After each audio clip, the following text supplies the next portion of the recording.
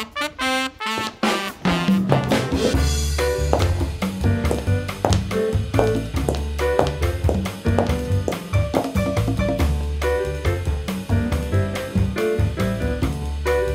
every day with JJK.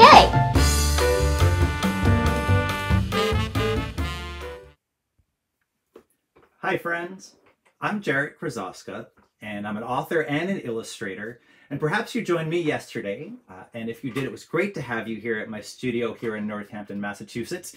And if not, uh, welcome. Uh, what we're doing here is we're drawing every single day and I'm going to be drawing live. Uh, and we're, this is live. Uh, today is St. Patrick's Day. Uh, I, am wearing green. I went to my closet to quickly look for something green before I went live. And the only thing I could find was uh, this old staff shirt of mine. I used to work at the Hole in the Wall Gang Camp in Ashford, Connecticut. And it's just an amazing place. Uh, most people know the Hole in the Wall Gang Camp as, as that camp that Paul Newman started. Uh, and if you're wondering, was Paul Newman as handsome in person uh, as he was on film? the answer is no, uh, he was significantly handsomer. Uh, so this is why I'm wearing green, and the Hole in the Wall Gang Camp and my family there is just such an amazing place. Um, we're going to be drawing live here every day, and as we go on, it's going to become a little bit more interactive. Uh, grown-ups will be able to give live suggestions for me on my other social media channels. And uh, I want to talk to you about uh, the fact that when I when I was a kid, I just I love to draw, and you know that I, have talked about that. Um, but I want to show is a big part of how I learned how to draw was by copying art that other artists created. So when I was a little kid, I'd often sit on the floor of my grandparents' house, and I would draw Garfield and Snoopy, all of those awesome characters from the comic strips that I loved reading in the newspaper every day. In middle school, I thought maybe I'd be an animator when I grew up. So I was studying animation and drawing Disney characters and learning how to animate.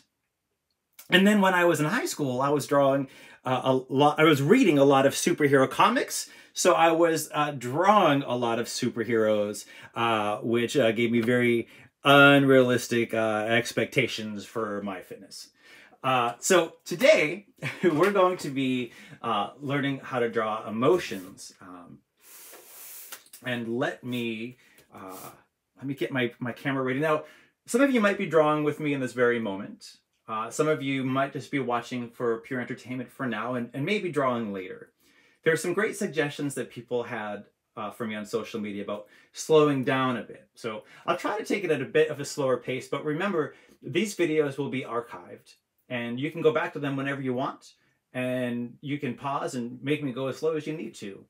So I'm going to switch out my cameras. I'm going to do something like this today. All right.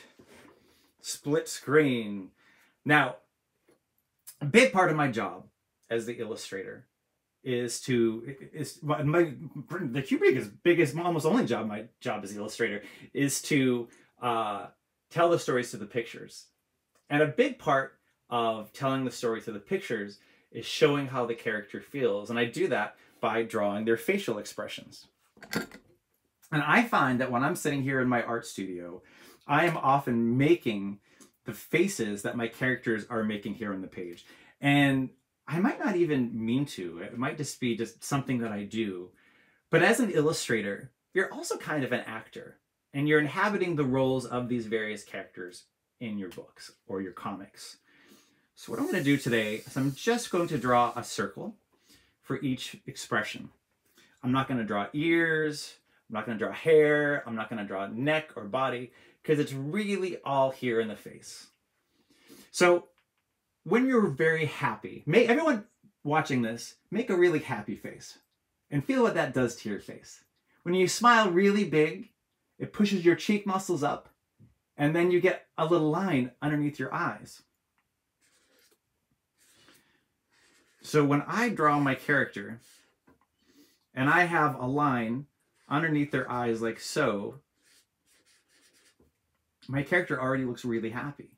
The character is smiling with their eyes.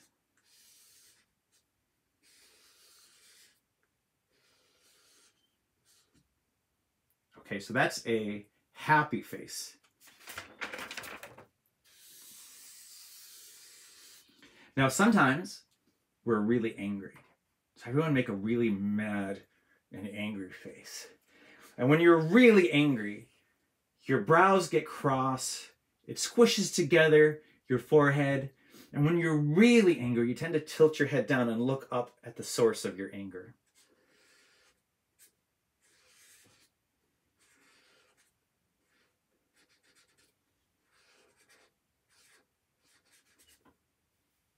Maybe your character is so angry that they're grinding their teeth.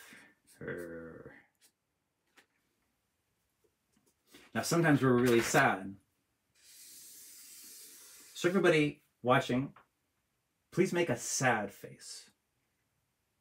When you're really sad, your eyebrows shoot up. When you're really, really sad, you don't just frown, your bottom lip comes out, and that is called a pout. And, and a little pout is way more pathetic than just a frown.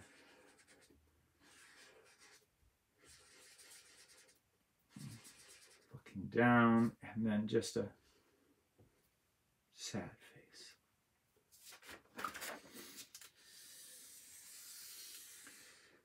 Now, what if, what if you're really really scared. When you're scared, your eyes grow wide and your pupils are surrounded by the white of your eyes. Do you see how here and here the pupils are touching the circle part of the eyes, right? The round part? And there, they're dead center.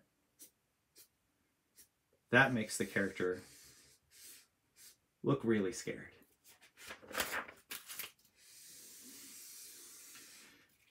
What if you're like, what if you're like really, really tired?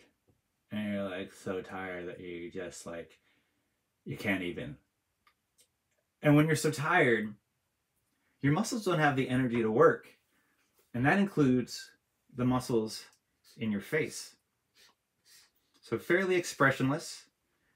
And those eyelids are going to be covering the top part of the eyes and, and the pupils. And what if you're just like really confused? Like you have like no idea what's going on. Like you like none of this is making any sense. It's kind of like, you know, The Rock. One eyebrow goes down, one eyebrow goes up.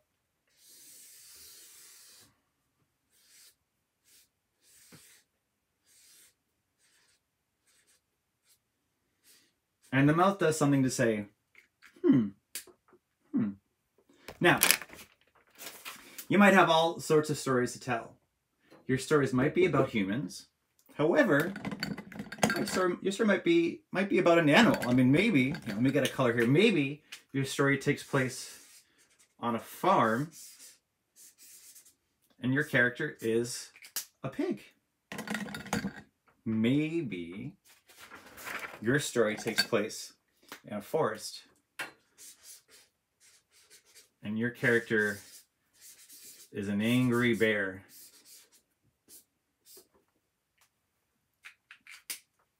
Now, some animals will have different appendages that we don't have. And, and that can help you have the character emote, which means to show expression. So it could be, it could be that your character is uh, an elephant and what does an elephant have? An elephant has a big long trunk and big floppy ears. But that trunk can really help the character show facial expressions. So if you were a sad elephant, that trunk would come down. But if you were a scared elephant, that trunk would come up. Now, maybe your character is a bunny rabbit, right? Bunny rabbit has buck teeth, little nose, some whiskers, but those two floppy ears. Those two floppy ears can really show a lot of expression. So if your character is tired, those ears can come flopping down like so. In fact, one of my books is called it's called Naptastrophe. And this book was originally about a human kid, but it's about a kid who does not want to nap and it's just a total nap catastrophe. And so I wanted to be able to use those floppy ears to help express how tired that bunny rabbit character is. Now, maybe your character isn't even of this world. Maybe it's some kind of alien and they have antennae that are going everywhere. Okay, let's um, just take a pause on drawing for a moment. And let's check in on something important. I'm talking, of course, about the Pokemon. Oh, dear Frankie boy. How's the Frankie boy doing? Oh, dear Frankie. Now, you might be confused. This is Frank. Our other dog is named Ralph Macchio. And uh, if you were wondering why we have a pillow of uh, Karate Kid, Ralph Macchio, Ralph Macchio from those Karate Kid days, uh, the Karate Kid is my wife Gina's first crush. And that is the name of our first dog. Okay, so at the end of every uh, at the end of every drawing lesson, again, we're going to have some family drawing time. And so we're going to have a moment of collaboration chaos.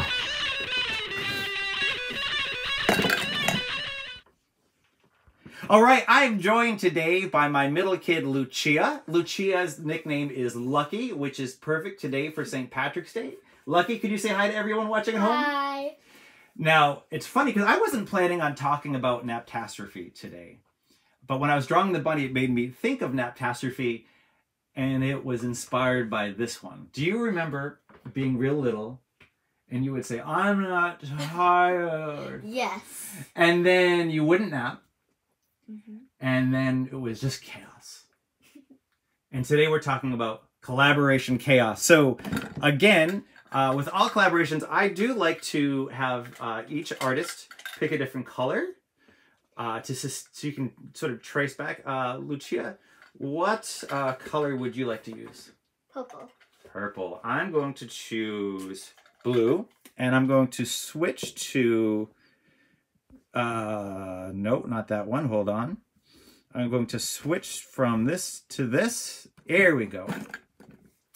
Now, in this in this exercise, uh, each artist is going to take a moment to um, draw a shape and add. So, so Lucky, would you like to be the first person to draw, or would you like to be the second person to draw? First. The first person to draw. Okay, Lucia, Lucky, Lucia, go at it. Go for it. Okay.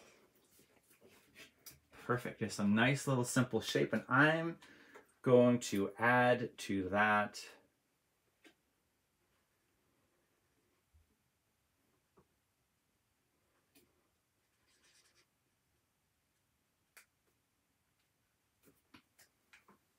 Okay. Um.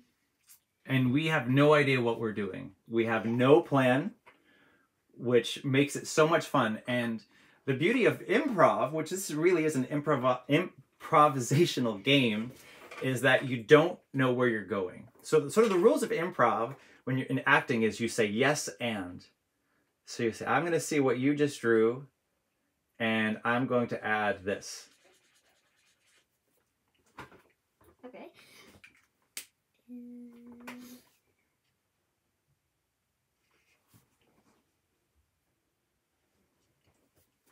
Oh.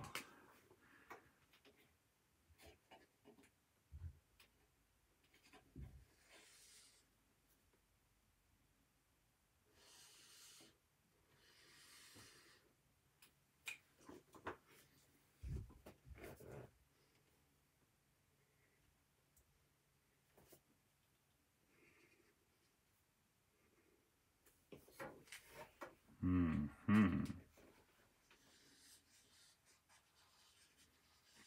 And it's fun to take things in a bit of an unexpected direction. Did you expect tentacles? No.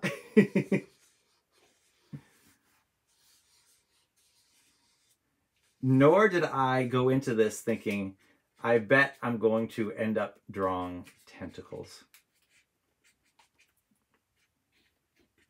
Okay. Kind of looks like an octopus lady. Does look like an octopus lady. Like a octomaid instead of a mermaid. Kind of. All right, do you want to do you want to say we're done on this one? Uh, because sometimes you might say, you know what, I like the way it is. yeah. Should we start a new one? Yeah. Okay. Fresh piece of paper here. All right, lucky Lucia. I'm gonna go first this time. Okay. Okay, only fair. Hmm.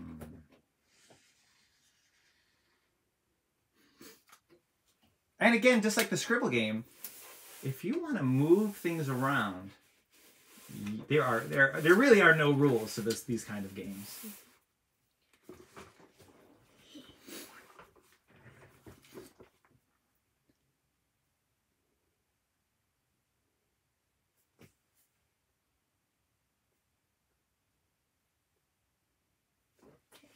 Oh. Hmm. Hmm. Hmm. Hmm.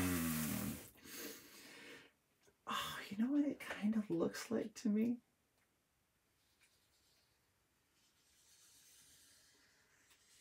It looks like a Her. I thought at first a teardrop, but then I thought, well, maybe a Hershey kiss. And then I thought one of those cookies that have the Hershey kisses like right in the center. Oh yeah. We just had lunch, so we're kind of hungry for dessert. So Yeah. maybe that's where my mind is. Okay, why don't you add something, Luke? Also, at our Halloween party, we had like these cookies and then like a Hershey kiss on it, which is supposed to be a witch hat. That's right. We have we have a big Halloween party every year, and we make these cookies that that look like witch hats. Mm.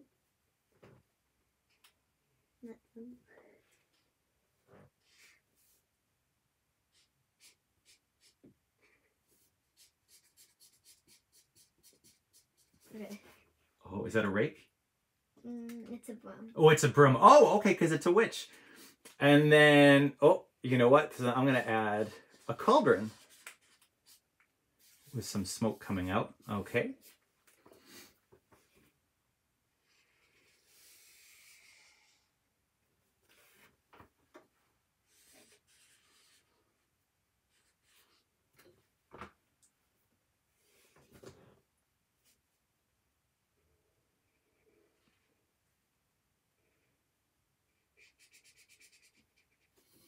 Wait, is that the mouth? It can be whatever you'd like it for to be. You could add on whatever you'd like. I think I should add something to the nose. Oh, a wart. I was thinking about a wart too. I'm gonna add two teeth like that. And then here, let you do one. You do one. You because I started, so you finish this one. I think it needs tail. Okay. Oh, high five. Excellent work. Okay, so we want to thank you so much for watching today. Again, this will be available for replay. We will have another draw every day tomorrow and every weekday at 2 p.m. Eastern Time for the time being. We hope that you have enjoyed yourself. We hope that you get to making. Now, uh, I'd like to, like I said earlier yesterday, I talked about how when you're in art class, you get to see what everyone makes. And I learned a little bit about how to put something out there on social media and then how, how I can grab some of the art. So we're going to do two separate things. If you are on Instagram, if you tag me in your story, I will repost that to Instagram stories. So you could share uh, those Instagram stories uh, with your young artist. If I'm going to, I'm going to also post on Facebook the replay of this video. Under that, and I'll put instructions in the post, you can post the photo. So there's some problems yesterday in the commenting. I fixed that. And I'm going to choose a bunch at random. I wish that I could include every single drawing at the end of these shows, but if you can post something by like say midnight or something, because what I'll do is I'll wake up early tomorrow, I'll collect a bunch, and I'm gonna embed them in the video I'm about to share with you. Uh, these photos have brought me so much joy. Uh, and as they have just uh, brought me so much life, uh, and it's so exciting to see all of the art that you all are creating. So, thank you for stopping by. Lucky, would you like to say goodbye? All right, we'll see you soon. We'll see you. Please tomorrow. click like and subscribe and keep drawing. See you soon.